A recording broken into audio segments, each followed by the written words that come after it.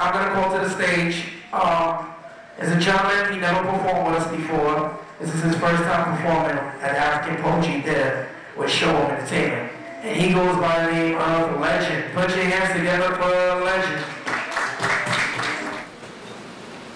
I'm gonna do two pieces. Um, first one, I guess, is a writer's anthem. I write. I write because I have to. It's my craft, dude. No matter where I'm at or where I'm going or what I'm going through, it's what I come back to. It's my life.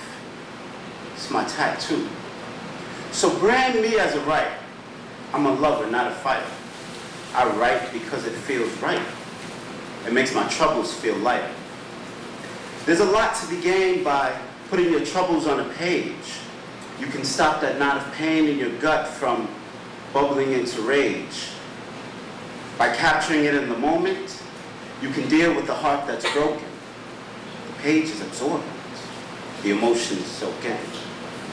Let out everything you didn't but wanted to say. The unspoken word is now spoken. I write.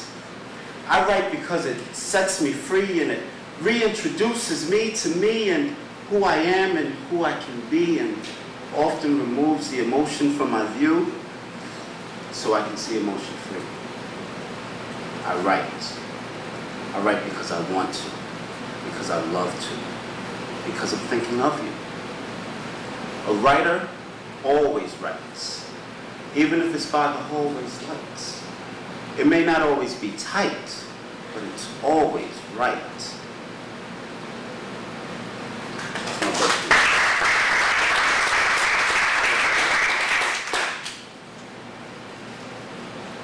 I call this one the wall. Days have been spent wondering if the day will come that I'll ever love again. Because the last relationship I underwent made me build up this brick wall. I stand behind this Teflon line barrier that was built to withstand time because my heart was broken into too many times. And right now, we have a crackdown on crime. All attempts to enter will fall. Better yet, that's fail.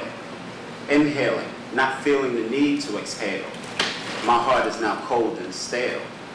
Love can go find another fool. It can no longer pull my leg because now I'm armed.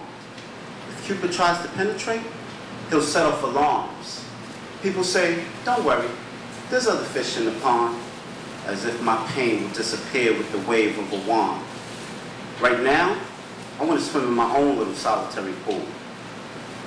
It used to be a river, but I'm way past crime. Now I'm in the heated stage, so it started drying. At one point, I could have drowned in tears and could care less about dying. But that was then. Presently, there's a sub-zero where my heart used to be. And my heart now resides in a lead box under lock and key, handcuffed to my wrist. It was a bitch to remove it from my sleeve because it was so used to living and loving freedom. But you learn and you live. So I say to Cupid, I'll continue to hide behind this Teflon lined wall of mine.